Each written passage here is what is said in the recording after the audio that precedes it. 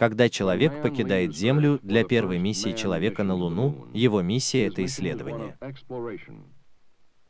Ракета «Сатурн-5» вытолкнет его за пределы атмосферы на его космическом корабле «Аполлон».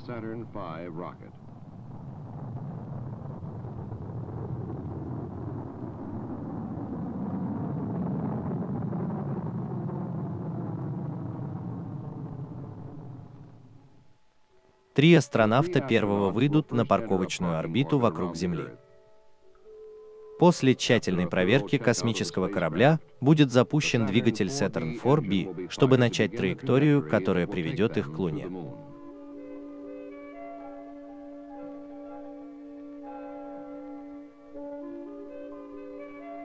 Космический корабль выйдет на орбиту вокруг Луны. Лунный десантный корабль, называемый лунным модулем, будет высажен на поверхность экипажем из двух человек, оставив одного человека в орбитальном командном модуле. Приземление будет представлять собой первое приземление человека на небесном теле, отличном от Земли. Астронавты должны создать пакет экспериментов, который будет продолжать отправлять данные на Землю после того, как они улетят. Они также должны собрать геологические образцы поверхности, которые они вернут на Землю. Лунный экипаж взлетит на ступени лунного модуля. Встречайся и состыковывайся с орбитальным командным модулем. И возвращайся на Землю, оставив лунный модуль на орбите вокруг Луны. Безопасная посадка на Луну имеет некоторые уникальные аспекты из-за лунной среды. Первый – гравитационное поле Луны составляет всего одну шестую от земного.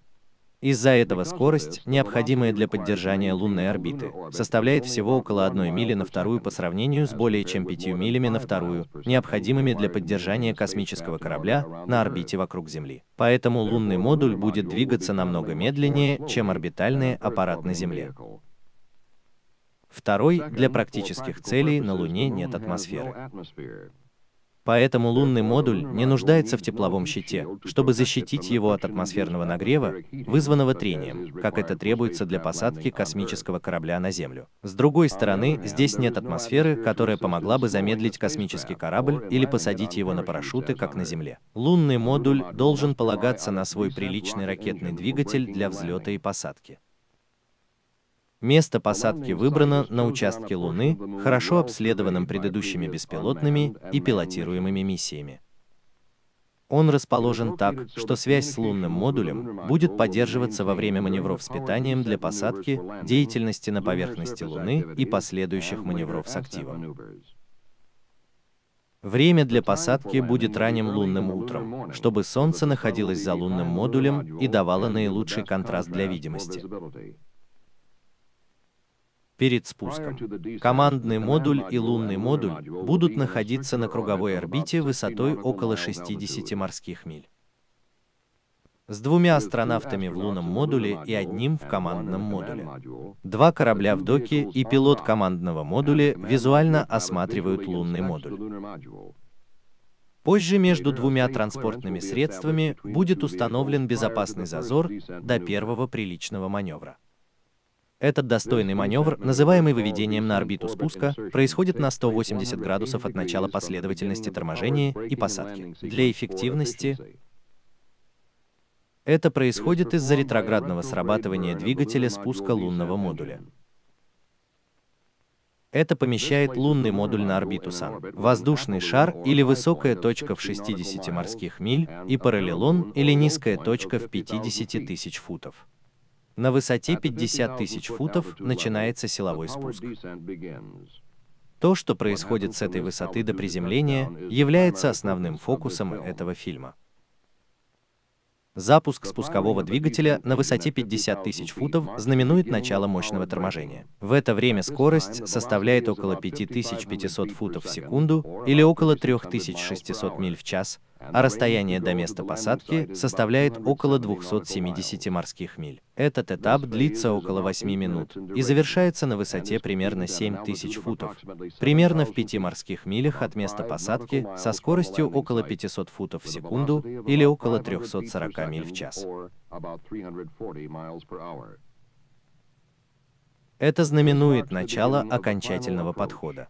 По прошествии этого времени двигатель работал в основном в горизонтальном направлении, и экипаж не мог видеть в прямом направлении.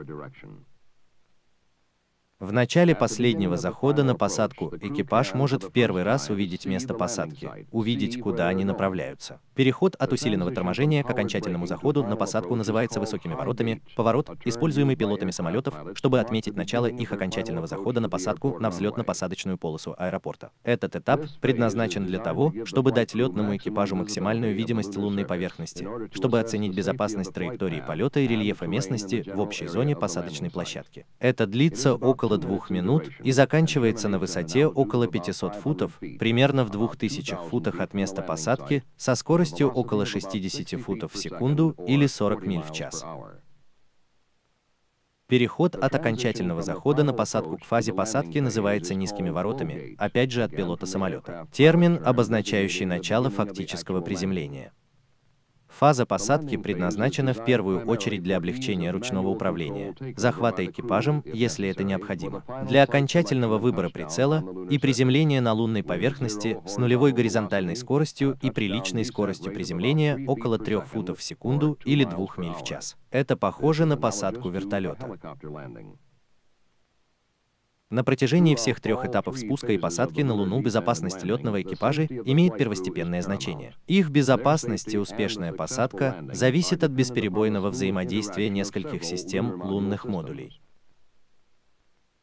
Сердцем этих систем является основная система наведения, навигации и управления, называемая PINS. Это состоит из двух подсистем – основного компьютера наведения и инерциального измерительного блока, или IDU. Компьютер является мозгом системы и для целей посадки на Луну содержит две подсистемы.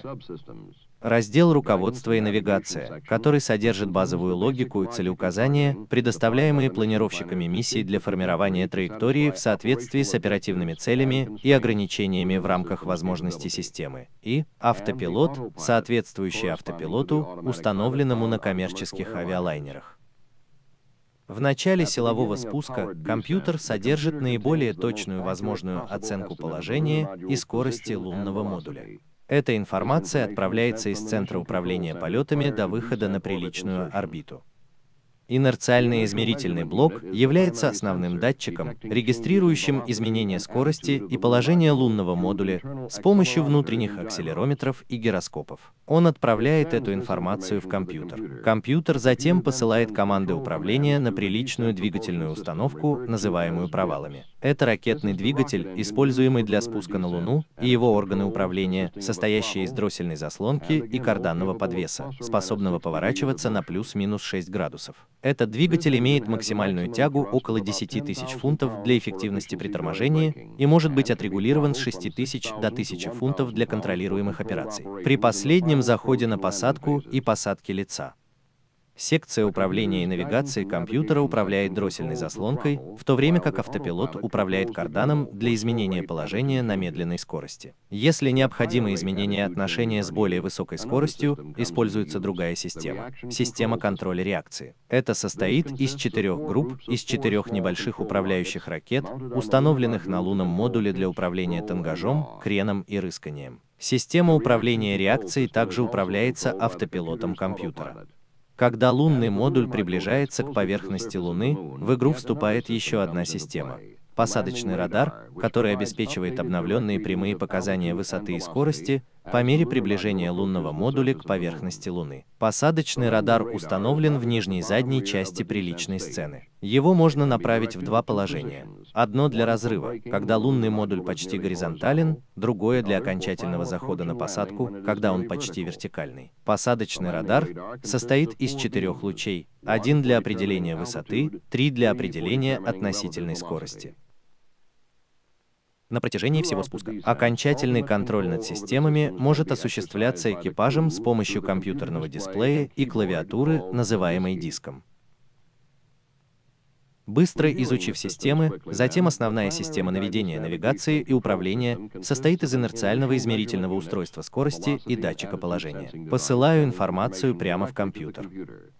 Компьютер посылает управляющие команды на приличную двигательную установку и систему управления реакцией. Когда лунный модуль приближается к поверхности Луны, посадочный радар посылает прямые обновления высоты и скорости на компьютер. Экипаж следит за спуском и поддерживает полный контроль над системами с помощью компьютерного дисплея и клавиатуры. С этим общим обзором систем мы теперь можем внимательно изучить последовательность спуска и посадки. Когда лунный модуль приближается к уровню 50 тысяч футов для инициирования торможения с питанием, он находится лицом вниз, чтобы предоставить экипажу обзор лунной поверхности для грубых навигационных проверок. Если будет принято решение не запускать приличный двигатель, лунный модуль останется на безопасной орбите вокруг Луны 50 тысяч футов на 60 морских миль и встретится с командным модулем на высоте 50 тысяч футов. Поскольку посадочная площадка все еще за горизонтом, экипаж запускает приличный двигатель. Он набирает полную тягу, отмечая начало фазы отключения питания. В это время у экипажа есть выбор быть лицом вверх или лицом вниз, но он должен быть лицом вверх на уровне от 40 до 30 тысяч футов. Эта фаза траектории автоматически контролируется компьютером с входами от инерциального измерительного блока.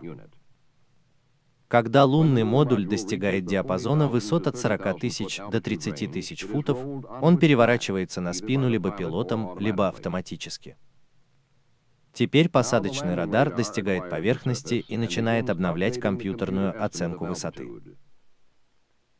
Экипаж больше не может видеть Луну и полностью зависит от посадочного радара и компьютерных дисплеев, чтобы знать, где они находятся. На высоте около 20 тысяч футов компьютер начинает снижать мощность приличного двигателя примерно до половины тяги, чтобы достичь высоких ворот. Примерно в это время экипаж увидит лунную поверхность в первый раз, начиная с маневра крена.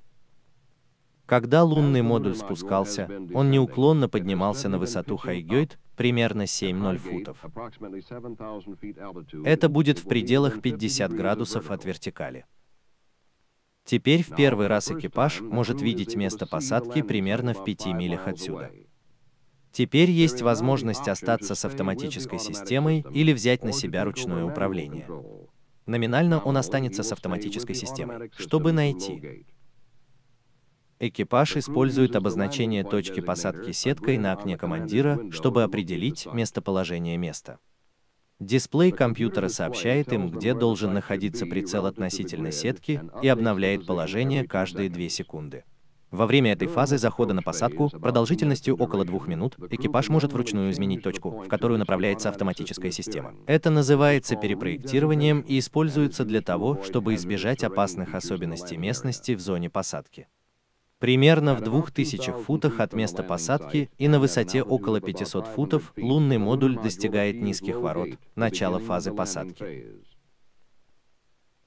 Если командиру космического корабля нравится, куда его ведет автоматическая система, он решает остаться с ней. Если, скажем, валун или кратер не загораживают место посадки, он может вручную изменить курс лунного модуля на новый прицел.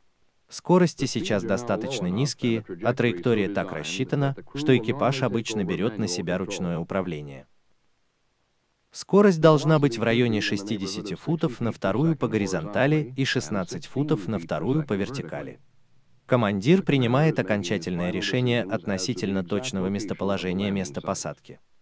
Если он останется на автоматической траектории на высоте около 150 футов, космический корабль будет иметь нулевую горизонтальную скорость и будет снижаться со скоростью около 3 футов в секунду. Зонды с шасси коснулись лунной поверхности, включив свет в кабине.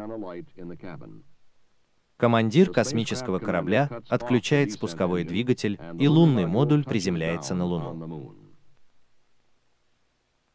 Обзор, затем подготовка к спуску на Луну начинается на круговой орбите в 60 морских милях над Луной с расстыковкой и разделением командного и лунного модулей.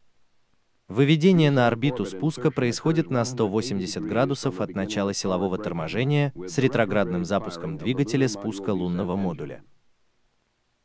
Лунный модуль стоит на уровне 50 тысяч футов, примерно в 270 милях от места посадки со скоростью 5-500 футов в секунду или 3600 миль в час. В это время включается приличный двигатель для фазы торможения с питанием на траектории посадки. Лунный модуль находится лицом вниз до тех пор, пока не достигнет диапазона высот от 40 до 30 тысяч футов, затем перевернется на спину, чтобы обеспечить обнаружение поверхности посадочным радаром. Переход к следующему этапу. Последний заход на посадку называется хайгёйт и происходит на высоте примерно 7 тысяч футов, примерно в 5 морских милях от места посадки, со скоростью около 500 футов в секунду или 340 миль в час. В Хайгейте лунный модуль, который медленно поднимался во время фазы торможения, находится в пределах примерно 50 градусов по вертикали, так что место посадки видно через переднее окно.